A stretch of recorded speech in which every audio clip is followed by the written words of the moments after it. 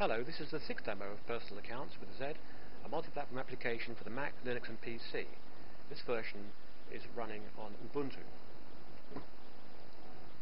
Now, the, um, we just reconciled the statement in the last demo, and I said that the other side of the accounts should have been reconciled too, and the reason was because I failed to set this box true in preferences.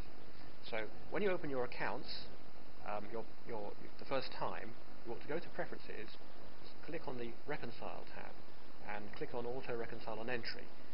You can see there it says for the type Income and Payment. Now if I had done that, then what would have happened, I just delete all these, start again, um, is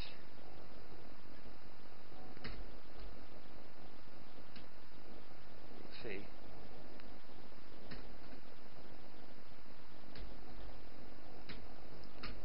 the other side of the um, statement is ah reconcile. Now gas hasn't been. Now the reason that the gas didn't auto reconcile is because if I find it down here, there it is. The type is not set to payments. In fact, I've forgotten to set all of them. So that's two mistakes.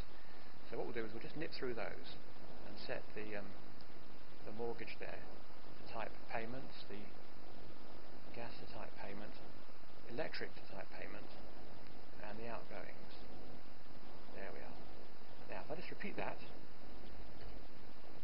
the gas, then it auto reconciles. From the bank to uh, electric,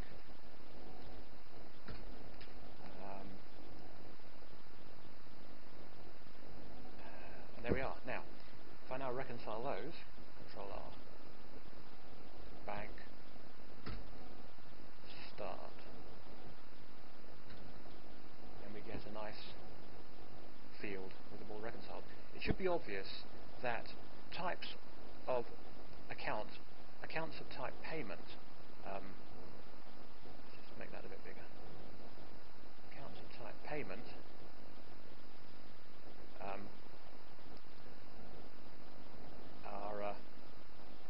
they're, they're nominal accounts, so you don't get statements for those. They simply are accounts that you've invented to um, for income and destination. So setting them to auto-reconcile is a logical thing to do.